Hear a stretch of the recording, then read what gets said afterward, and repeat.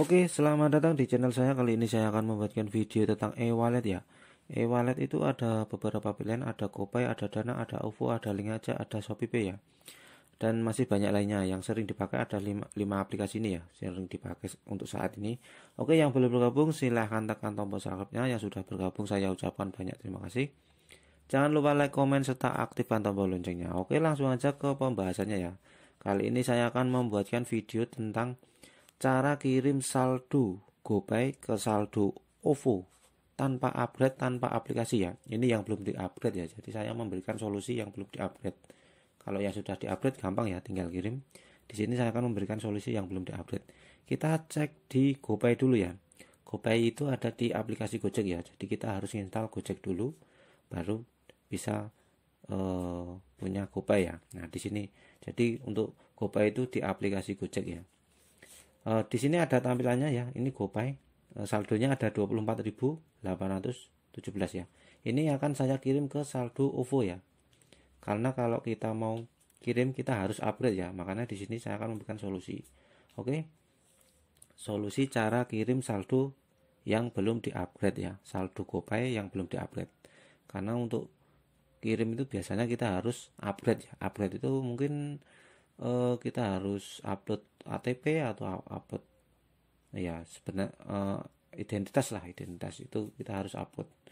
Oke di sini ada tampilan namanya explore ya. Kita cek dulu explore.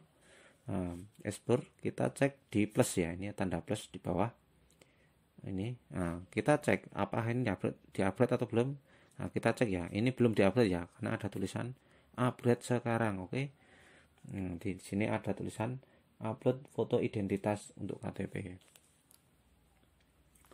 ini buat rekan-rekan yang mungkin punya banyak akun dari GoPay ya. Jadi kalau sebenarnya untuk persyaratannya itu satu kali atau dua kali kurang tahu. Intinya kita oh, untuk upgrade itu biasanya cuma satu kali kalau enggak dua kali ya.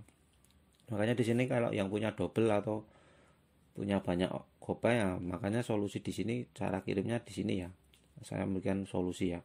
Oke fungsi dari upgrade itu cuma untuk bayar maksudnya untuk transfer ya transfer ke teman transfer ke bank sendiri atau bank teman kita atau transfer ke uh, kita sendiri. Maksudnya rekening kita sendiri ya atau e-wallet kita sendiri. Oke di sini kita langsung ke tampilan dari OVO ya. OVO saya cek sekalian.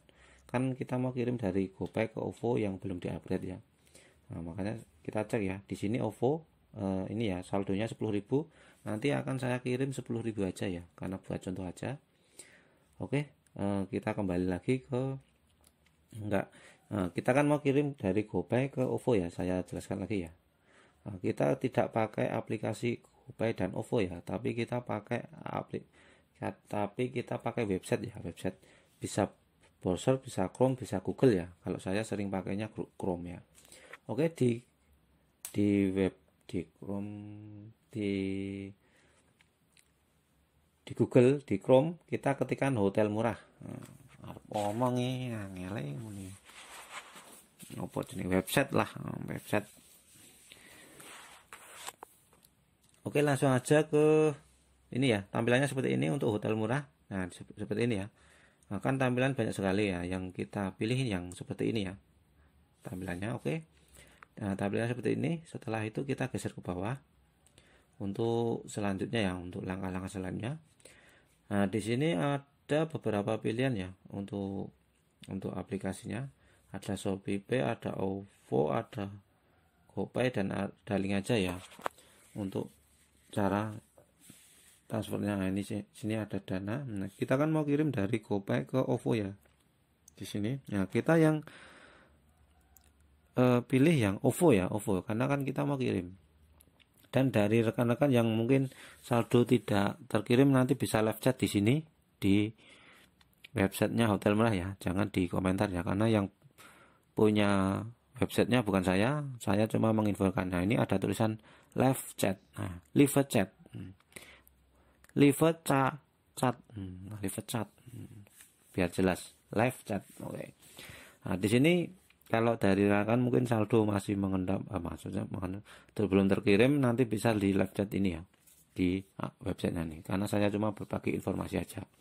Oke eh, setelah itu kita pilih OVO ya. Kan kan kita, kita mau kirim ya. Dari Gopay ke OVO kita masuk ke OVO ya. Di sini ya di tampilan dari hotel murah kita pilih OVO. Nah di OVO kita masukkan nomor yang terdaftar di OVO tadi ya yang isinya 10.000 tadi ya mau saya isi 10.000 lagi. Jadi mungkin uh, totalnya nanti 20.000 oke di sini saya masukkan kalau bisa kasih 08 ya. Jangan 857 ya tapi dikasih 0857 sesuai nomor kita ya. Nah, ini e, misalkan dari rekan mesti ragu ya 10.000 kalau udah bisa ya nanti langsung ini berapa? Satu juta ini juga bisa. Kalau dari rekan-rekan masih ragu ya 10.000 dulu aja nggak apa-apa. E, karena untuk oh, prosesnya kan kurang tahu ya kita. Ya, makanya kalau udah tahu prosesnya baru mau ngisi 50 60 70 itu biasa karena kita sudah tahu prosesnya. Jadi nggak udah nggak usah nanya-nanya terus. Oke langsung aja ke di sini. Kan OVO OVO 10.000 ya. Nah, ini ada biaya admin 1000 ya. Total harga jadi 11.000 misalkan ada kode voucher bisa pakai kode voucher di sini. Tapi kalau misalkan nggak ada ya biasa aja. Oke, selanjutnya untuk langkah-langkahnya eh, sampai langkah-langkahnya sampai sini ya untuk cara kirim saldo ya tadi. Gopay ke OVO yang belum di-upgrade ya. Atau nggak bisa di-upgrade, oke. Atau punya banyak akun Gopay yang belum di-upgrade itu bisa dikirim. Oke, di sini ada tampilannya paling bawah ya.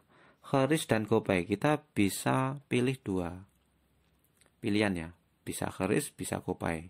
Kalau saya sering pakai Keris ya kalau GoPay langsung masukkan aja nanti pinnya. Kalau keris kita screenshot oke? Kita lanjut. Tadi kan ada lanjutan kita screenshot ya ini. Oke setelah screenshot kita kembali langsung masuk ke mana? Kita langsung masuk ke GoPay. Oke ke aplikasi GoPay kita cek.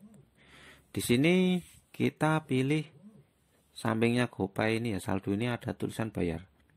Kita pilih bayar ya di sini untuk langkah-langkah selanjutnya kita pilih bayar. Nah, di sini tampilan seperti ini. Kita pilih yang ada tanda atas itu masuk ke yang kita screenshot tadi ya. Seperti album ya, album kalau kalau di HP ya album apa ya? Album. Nah, ini nah, ini ya screenshot. Nah, yang kita screenshot tadi ini ya. Tak paling atas. Kita klik aja terus itu otomatis udah seperti ini ya konfirmasi dan bayar. Jadi 11.190 jadi ada biaya admin 1.190 karena kita juga pakai pihak ketiga ya namanya hotel murah makanya kita harus juga ngeluarin uh, adminnya 1.190 ya. Oke langsung aja konfirmasi bayar dan jangan lupa pin dari Google dari GoPay. Jangan, jangan sampai lupa oke? okay? Uh, selanjutnya kita konfi bayar. Nah ini berhasil ya pembayaran berhasil. Oke langsung aja. Uh, ini tidak nunggu lama-lama. Tidak. Nah ini kita cek ya ini. Cek udah terbayar. Nah ini jadi 13.000 ya. Apakah saldo tadi OVO eh, tadi ini saldo ini langsung masuk OVO? Ya dengan cepat lah. Kita cek aja. Kita buktikan. Berapa lama saya refresh ya. Satu menit aja enggak? Eh satu menit aja. Satu menit kurang dari satu menit aja udah masuk. Oke. Kalau belum masuk berarti anda salah mengikuti langkah-langkahnya. Oke. Misalkan ya enggak masuk berarti salah langkah-langkahnya. Oke eh, ini udah masuk ya 20.000 Oke, itu aja ya untuk cara kirim saldo GoPay ke saldo OVO tanpa upgrade, tanpa aplikasi. Ini cuma berbagi informasi aja. Terima kasih. Jangan lupa subscribe, like, comment, and share. Malah